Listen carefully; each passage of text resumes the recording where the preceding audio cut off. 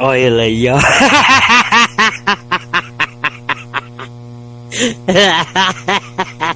Olha ele aí.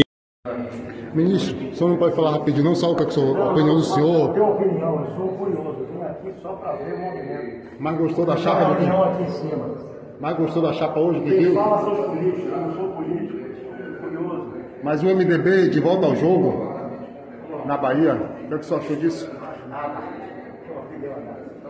Aqui o ex-ministro Jandel Vieira Lima, também acompanhando essa movimentação é, política baiana. Hoje, um anúncio oficial de um quadro importante do MDB, que ocupará a vice, Geraldo Júnior. Um abraço, ministro. Obrigado, um abraço. Bora, bora, bora.